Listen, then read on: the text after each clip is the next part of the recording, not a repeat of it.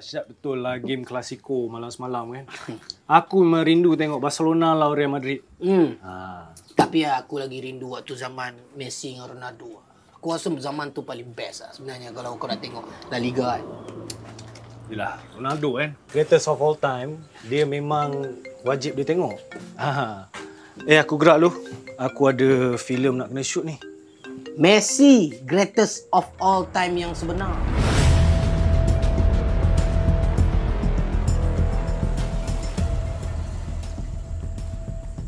Hello, producer. Ah, saya tak jadilah buat filem tu. Biar orang kenal saya dengan bola-bola je.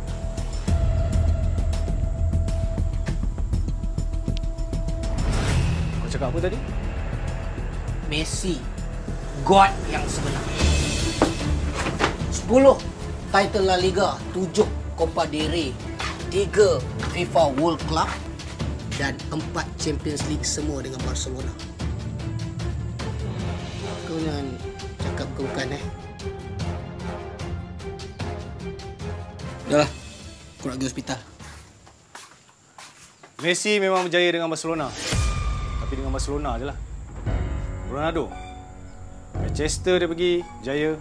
Madrid dia pergi, berjaya. Sporting berjaya. Juventus berjaya. Banyak kelab dia berjaya. Setakat satu kelab tak guna.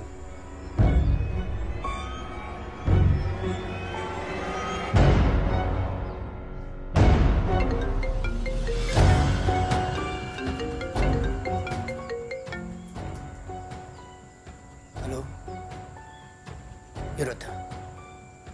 Kenapa ngawal saya? Tak nak beranak? Minta dia delay sekejap. Ada mustahak ni.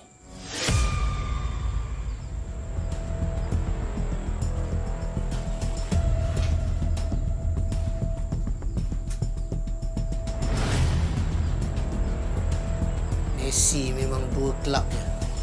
Sebab dia loyal. Dia tak nak pergi kelab lain. Ronaldo memang banyak kelab.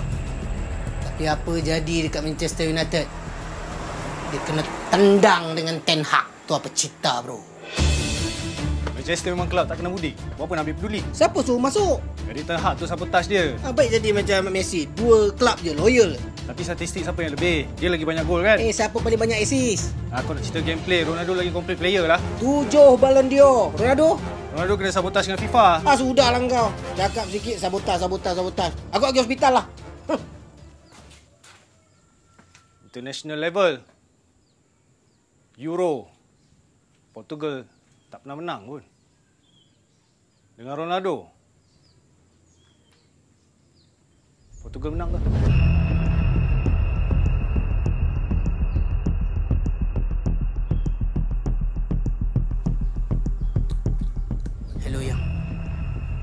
Dah keluar.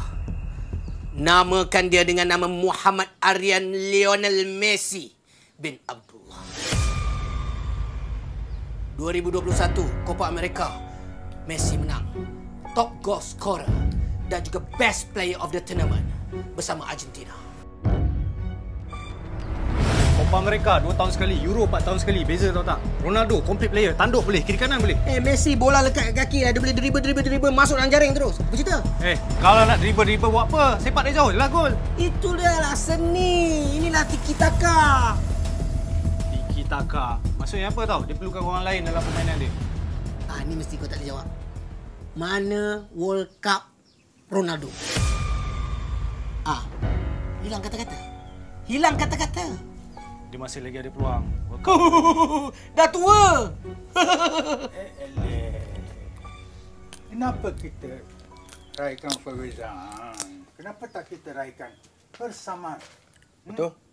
Cuba korang fikir dan korang cari. Apa persamaan korang? Manol, minyak pelincir. Persamaan kami. High quality. Fair price. Pastikan ada stiker hologram baru original.